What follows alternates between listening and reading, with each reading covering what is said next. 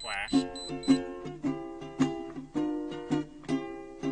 Raindrops are falling on my head.